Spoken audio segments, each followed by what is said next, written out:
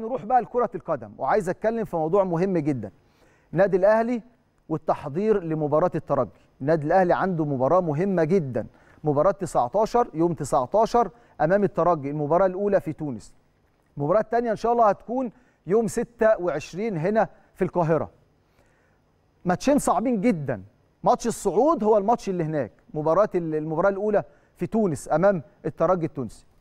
بنشوف الفترة دي في كلام كتير بيطلع على لاعبي النادي الأهلي إشاعات كتير بنسمعها عن لاعبي النادي الأهلي. بنسمع الفترة دي أصل عمرو السولية وتجديد عمرو السولية إعارة عمرو السولية ترضية عمرو السولية.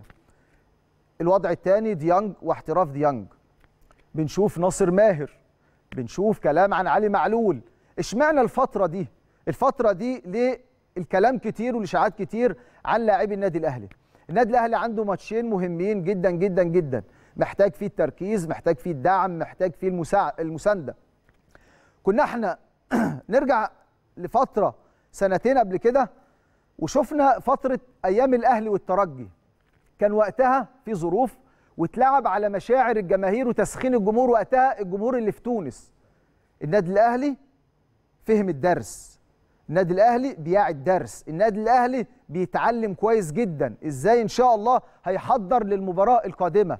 من حيث التركيز المعنوي تحضير اللعيبة بشكل كبير. الفريق الأول إن شاء الله هيبتدي تدريباته يوم الخميس القادم.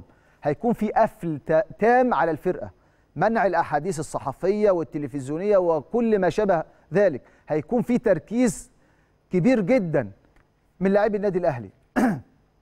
التدريبات هتبتدي يوم الخميس القادم. في الوقت ده اللي إحنا بنشوف الإشاعات والكلام الكتير على لاعبي النادي الأهلي بنشوف الترجي التونسي دلوقتي مع الاتحاد الافريقي بيحاول يكون في حضور جماهيري هناك في المباراة الأولى أمام النادي الأهلي. بنشوف الوداد المغربي في المباراة النهائية اللي هتكون موجودة على ملعبه هناك في المغرب إزاي بيحضر من دلوقتي؟ علشان يكون في 25000 موجودين المباراه وإحنا النهارده في النادي الأهلي بقول لحضراتكم برضو كل الإشاعات دي ملهاش ملهاش أساس من الصحة. كل الإشاعات دي عمرها ما تاثر على لاعبي النادي الأهلي ولا على الجهاز الفني. هيرجعوا من الراحة. الراحة اللي كانت مهمة جدا للاعبي النادي الأهلي خلال الفترة اللي فاتت.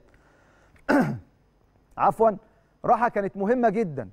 علشان الفترة اللي فاتت كانت مضغوطة. كل 48 ساعة بنشوف لاعبي النادي الأهلي ماتشات ماتشات ماتشات. فكان لازم تفصل علشان الفترة اللي جاية فترة مهمة. زي ما بقول لحضراتكم تاني وتالت ورابع النادي الأهلي من يوم الخميس اللي جاي هتشوف قفل تام على الفرقة من الكابتن سيد عبد الحفيظ ممنوع الأحاديث في تركيز كبير من لاعبي النادي الأهلي وأيضا من الجهاز الفني علشان إن شاء الله ربنا يوفق لاعبي النادي الأهلي خلال الفترة اللي جاية.